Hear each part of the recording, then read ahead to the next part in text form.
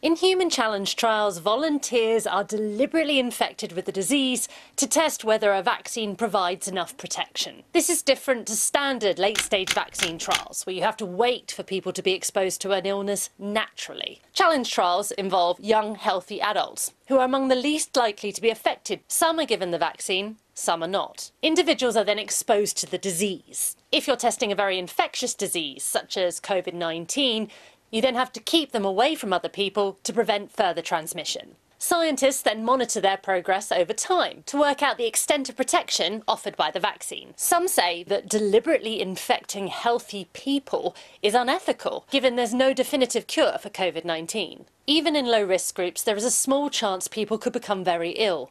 Some could even die.